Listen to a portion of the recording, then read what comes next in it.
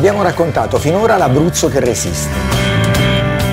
39 video in tre anni, 39 talenti, 39 mestieri e 39 territori.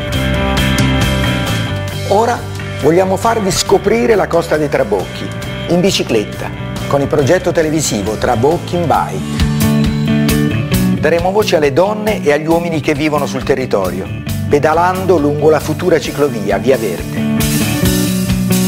Ma abbiamo bisogno del tuo aiuto. Sostieni il nostro progetto con una donazione.